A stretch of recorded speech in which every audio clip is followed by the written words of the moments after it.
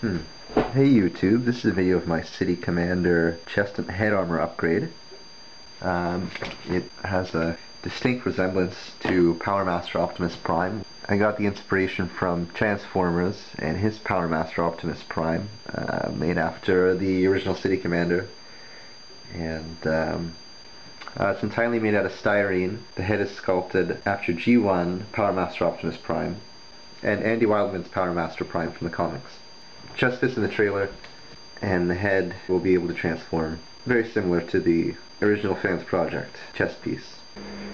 This head, this head I primarily sculpted after Andy Wildman's concept of Optimus Prime, Power Master Optimus Prime, and a lot after G1 Power Master Optimus Prime.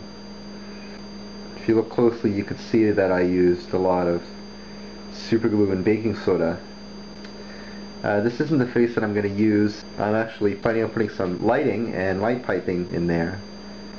Next step is to put the pipes on the sides of his helmet and fill in a lot of the gaps.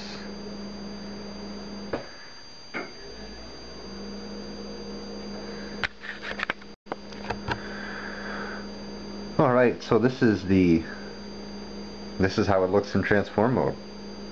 Um, I could put the head in.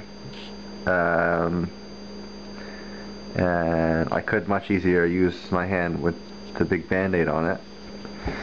And um, yeah, so that would fit on the inside. I don't have the chest piece yet.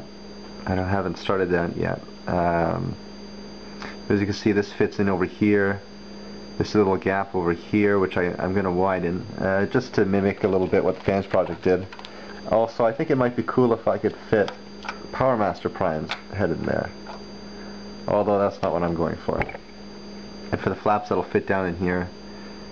Um, again, I think it'd be cool if I could have him somehow in there. But that's just a gimmick and maybe I want to not, not even pull that off. That was what was Chansformers did anyways. So that's something like how I want to get the chest. Uh, just a rough idea. But we'll see how it turns out. And um, yeah, that's it. I will get back to you once I've gotten some thing to update about. This might be next.